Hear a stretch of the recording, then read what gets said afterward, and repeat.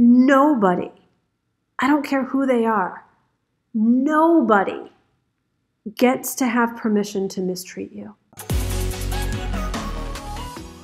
Hello, my queen, coming to you with a necessary conversation for, hate to admit it, people pleasing women like us. Um, I think that most of us listening to this have done enough work on ourselves to become self aware of the people pleasing that we've done in the past. And maybe you're like me, where you think that you're living an authentic life now. You're, you know, letting your yes be yes and your no be no, and you're, you know, you got good people you're surrounding yourself with, and you've got your boundaries intact, you know your preferences. And then there is that one situation in your life, that one relationship, that one that just continues to blindside you. And this was an experience that I had recently, and I've talked a little bit about it on this podcast. And the last time I, I discussed this, I said, I don't have all the answers. I just gave you the one that I had gotten that day. So you can go back, and I think it's something about uh, how to unhook from toxicity. And I've been in my, my journey of how do I behave? And the next thing that I have been confronted with is something that's been very, very hard for me to admit which was my own truth in the situation. Because the positive, well meaning, light-hearted, let's make it work for everyone else, hey, it's not that bad, you can do anything for a short amount of time, Gina. Like that old part of me cannot simultaneously simultaneously exist with the queen in me. And just like you, the more work you do on yourself, the more the queen emerges. And, and the Bible talks about you can't serve two masters. You, you can't be the two different parts of yourself. You can when they're dissociated, but when, when you start to integrate, there's just no room for Little Miss Perfect. There's no room for the martyr. There's no room for the, the, the, the people pleaser and my truth was like emerging like this this little bud popping out of the soil. And i didn't want to admit what my truth was. I didn't want to admit the in this situation that my truth had a very big n little o period connected with it and I tried to override it. I tried to negotiate with it. I tried to say it was going to be okay. And because I was listening to the queen within, and this is what I, I want you and I to take a stand with together the queen within you has her truth as well. And our truth has got to be good enough for us. And there are any range from people that just have a different preference than you to people that are just unpleasable no matter what you do and everything in between. And this situation I was confronted with, I was really, really amazed at how foreign, how unfamiliar it was to not only deeply consider my preference, but to voice it, to speak it, and to stand by it. And it, it made me aware and realize how many countless times I, si- I silenced my own voice, I diminished my own preferences and desires. I didn't i locked them away and didn't let them see the time let them meet the, the, the light of day because i was so obsessed.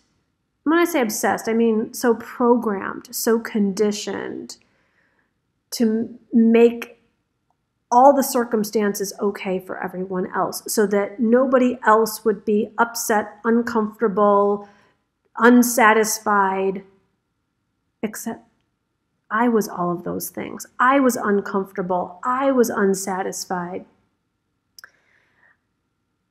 And this process of not even becoming the queen in me because she's in me and she's in you.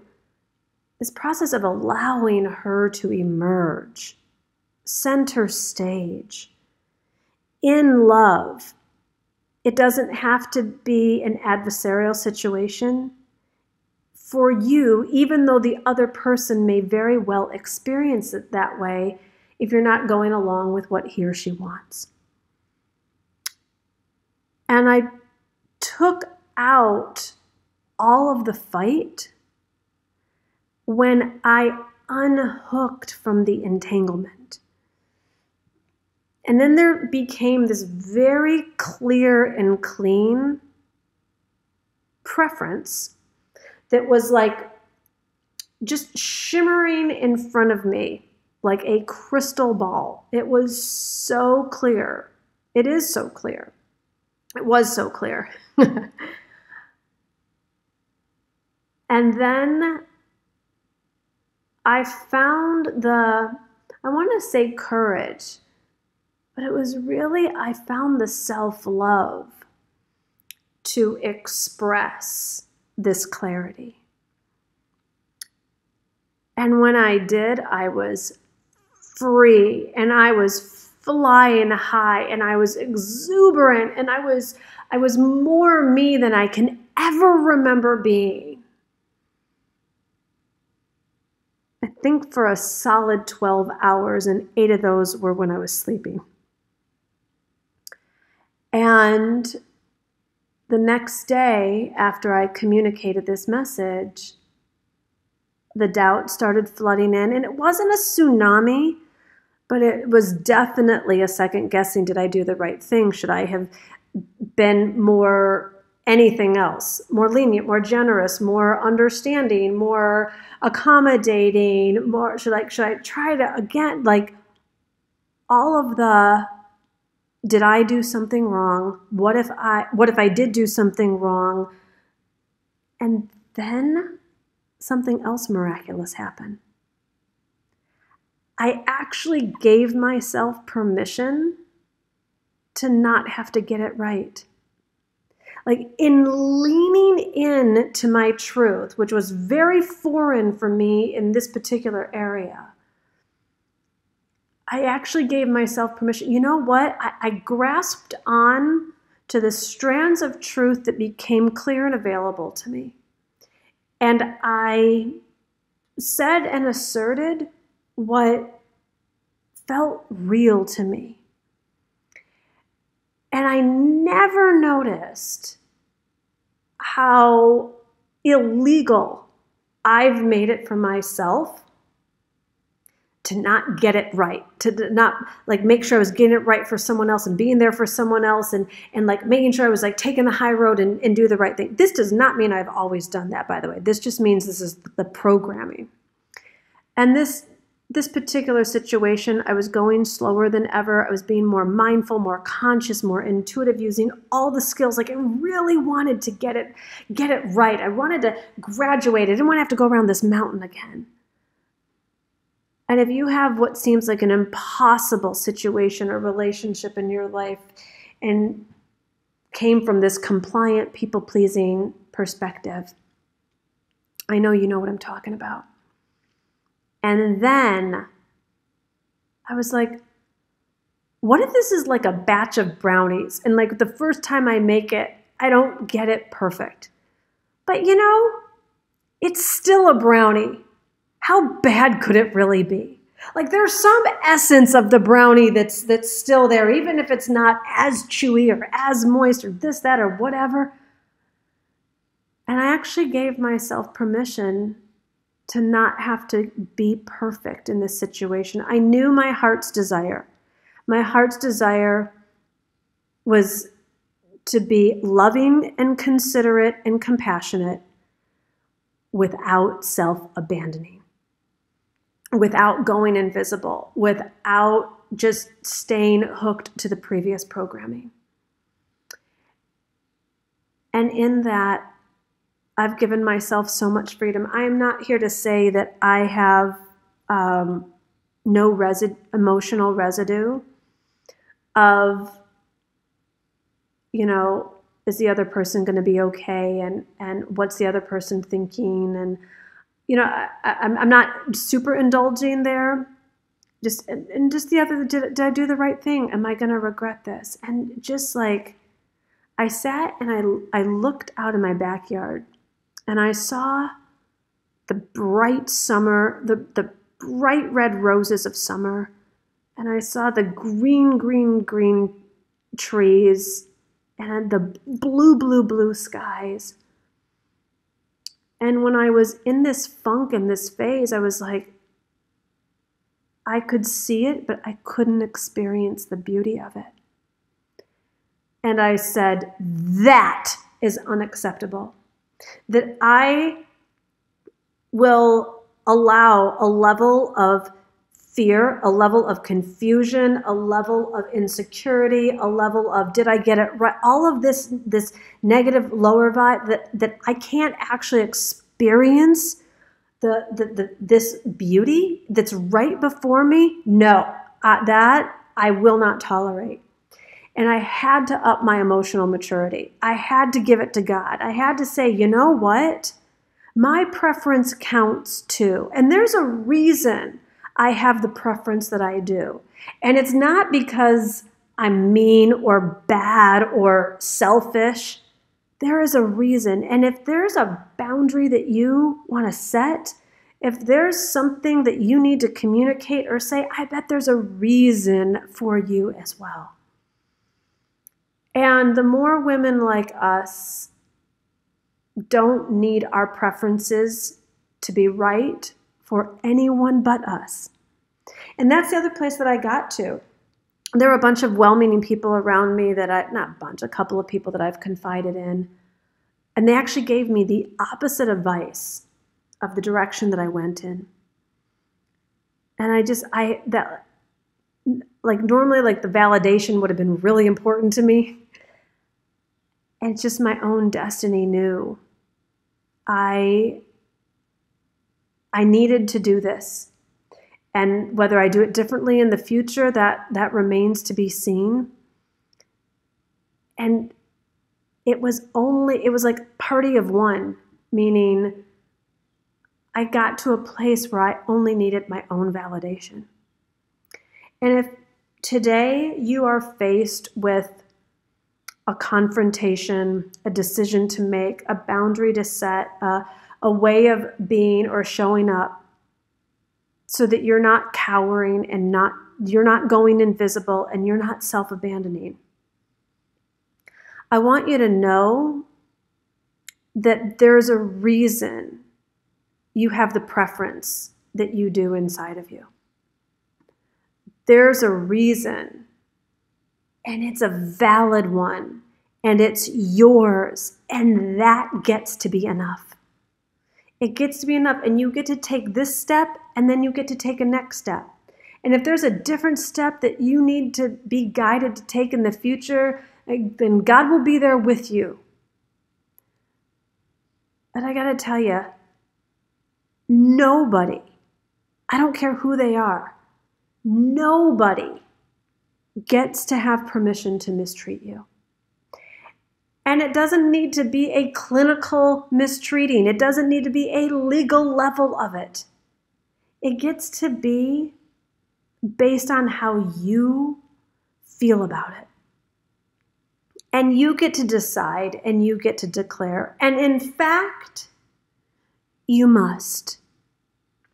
It is time for women like us to have this be the new normal that you know your preferences, that you state them, that you stand in them, that you're not quivering in fear of the consequences that are going to come. And it's not that other people won't have their choices and respond with whatever level of retaliation or withholding of love or slandering, demeaning, threatening, attacking, any of it. It just means you won't be afraid of it. And this, my love, is you getting bigger, bigger than the toxicity, bigger than the fear, bigger than the wound, bigger than the fight, bigger than the entanglement. When you unhook, and one of the tools I'm finding for unhooking is really listening to you. Not to your fear, not to the manipulation, not what other people are going to say about you, not the, the paralyzation that you'll go into even thinking about what the consequences are. Your preference and your truth. And then we get it, and it's the truth that's going to set you free. The truth that will set you free. The toxic dynamics that consciously or unconsciously you've been a part of, you get to free yourself. You get to free yourself. You get to free yourself. So much so that you sleep solidly at night. And when you wake up in the morning and you look out at your backyard and you see blue sky and green trees and red roses, that you're able to really receive the majesty of it and soak it in. That you're going to be able to experience life in its fullness because that's who you are. And other people have a, a, a different set of wounding that, as much as you may have tried to help, be there, soothe, satiate, it's not your job. It's not your job to make other people happy. It's not your job to make other people's bad behavior okay within a, a family system or a work dynamic or any of the above. Your job is to live your life with fullness and freedom and confidence. So that's what I want you to go do today. I want you to become aware of your truth. I want you to see it so crystal clear. And then I want you to soak it in. I want you to like really anchor it. Like I had to play it over and over and over again. How like I, I like tried my truth on like an outfit. Like I was wearing. I was like, how does this feel? And I can't say that it felt amazing because the circumstances don't have the ingredients for amazing. But I did sense relief versus feeling suffocated. So, when you can find the higher vibrational emotion for your set of circumstances that are connected with your truth, mine didn't feel amazing. It doesn't feel amazing for me always to confront, set boundaries, um, be visible. But I did feel relief. And I do feel relief. And I also feel relief that this is a new emotional muscle that I get to build and that I get to get stronger in so that it's less confusing in the future, that it comes out more quickly and easily, that I have less patterns, fewer patterns of any form of bondage or dismissiveness or you know any kind of feelings that don't have me thrive. So I want you to take a look at your life today and make sure that how you're living your life is you showing up for you that you how you're living your life is by design. If you need to redesign a relationship, a situation, a dynamic, well, Queen, you've got the power to do exactly that. All right, so let's pray.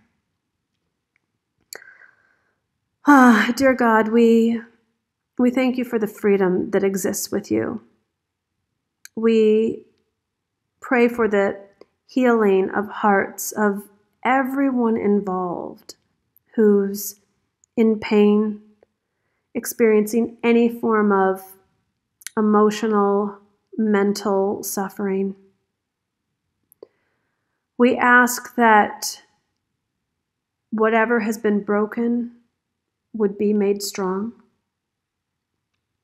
We ask that you would show us how to see ourselves in the way that we haven't seen ourselves, that we would be led to loving ourselves in ways that we haven't always loved ourselves, in ways that it hasn't always been shown to us to be loved. But today that gets to change because we ask that your spirit fill us with the pure consciousness of love and power and peace and wholeness that every human deserves. And we pray all of this believing, Amen. Amen, amen, my loves. I'll close with this. You know, this situation has um, taken almost all out of me on a physical level, emotional level, spiritual level. I've just been drained. I've been sleeping a lot. And I haven't lost sight that my home and my marriage is a sanctuary. And I would say to Glenn every day going through this, I'm like, I'm so, like, I don't even know how women go through these kinds of challenges or heartbreaks in life without having this solid support of a, a partner, a loving, like emotionally strong, safe place. And one of the things that I'm um, very, very excited to share is that after many years of many requests, Glenn and I are teaching together a legendary love course. So if you want to get in on the sneak preview, um, we are going to be doing a three day free preview. So you can, if you're new to us, you'll find out all about our love story and creating safe and healthy relationships. This is um, for women who are either looking to call in love or, or are in a dynamic where it just doesn't feel as loving as you'd like it to be. So check out the link in the show notes, or you can go to divineliving.com forward slash love and get yourself in on the list. We've got um, just the sharing of what we know of almost a two decade relationship, um, where I always say Glenn is the easiest part of my life, and he has recently just been even more profound than ever. So if you are looking to create that kind of uh, romantic love relationship, come join us and check out the link in the show notes. Mwah. Lots of love.